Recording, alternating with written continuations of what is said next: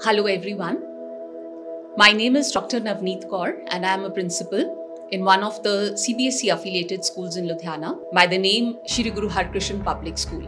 I got to know about the CT test and I was really impressed. That is why I wanted to share my feelings about the CT test with you all. This test is basically a scholarship test conducted by the university and if a student scores well, he will be given a discount in the fee plus some other additional benefits. The best part of the test is that uh, it is not compulsory.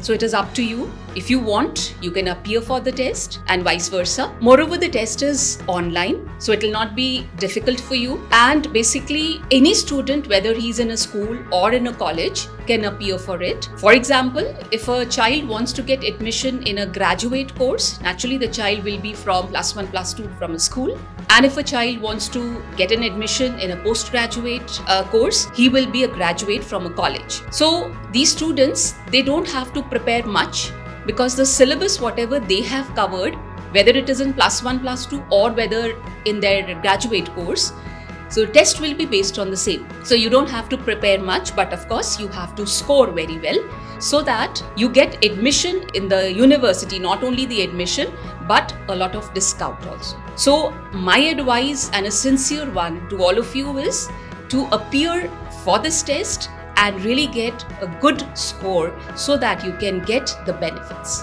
Thanks a lot.